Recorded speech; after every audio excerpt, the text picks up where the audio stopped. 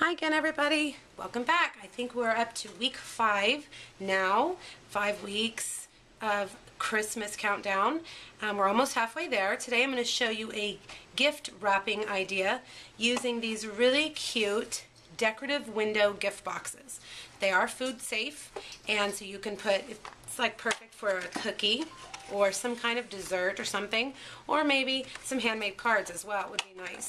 So they are in the holiday catalog, and they are six. They're four ninety six for four ninety five. You get six of them for four ninety five, so that makes them less than a dollar, which is really nice.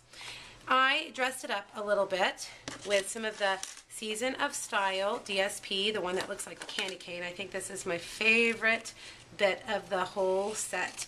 And this piece is two inches by, let's see, five and a half. All right, now what I'm gonna use to add some texture is our distressing tool. And I'm gonna run it down the edges like this. It's gonna give it kind of a, a more, you know, vintage feel. Well, look at that, I just made the point come off which is probably not what you want to do, so let's fix that. So I'm going to make that one a little bit shorter and that one a little bit shorter. Alright, there, that's fine. See, there's always a way to fix it. Alright, so I'm going to run this down the edges like this. Now, I'm going to add it to my box just with some regular old snail. Okay, I'm going to put it right there. And the stamp that I'm using today is Season's Greeting from Joy to the World. And I'm going to emboss it. I used the label framelit to cut out a black basic black cardstock piece. And when you emboss, there's this thing called the embossing buddy, and I like to use it when I'm using, trying to go for this chalkboard effect, because it really kind of adds that chalkboardy, you know, the chalk feel on the black. So I do that, and then I'm going to stamp it in Versamark. Look how dirty my Versamark pad is, but that's okay. Still works. All right, I'm going to do this. Now, normally I would recommend that you stamp first and cut it out second, but just for sake of the video, that's how I did it. Now I'm going to take some Whisper White embossing powder and sprinkle it, and I'm not using my little powder tray, but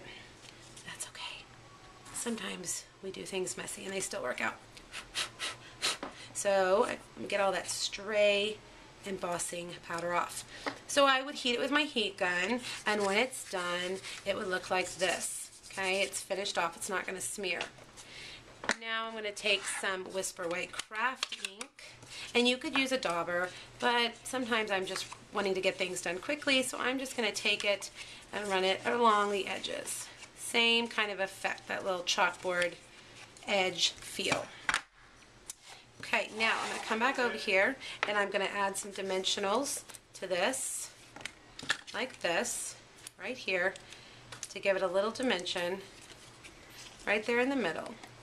Now, what I did here is took I took a piece of our burlap ribbon and I snipped the ends. It's about three inches.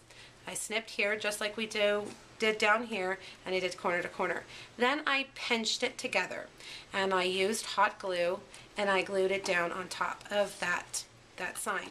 Now when I made this I accidentally used a button that's retired so what I would do instead is use these. They're the same size and they're called the Naturals designer buttons and they'll do just fine. So you glue that on there. Hot glue again, I just hot glued everything so that it'll all stay together. Then you're going to take some cherry cobbler twine, and I doubled it twice. So you're going to actually have four strands like that. And I made my bow. And, well, that wasn't very good. It's better to start off with extra when you're doing this. Let's try that again. Double it and doubled it again. And we're going to make us this cute little twine bow. Pull it through, trim off edges just like that. And I hot glued it right there. And there you have it, a dressed up little box. It was cute by itself, but now it's even cuter. Alrighty, thanks for joining me again, and I will see you next week. Bye-bye.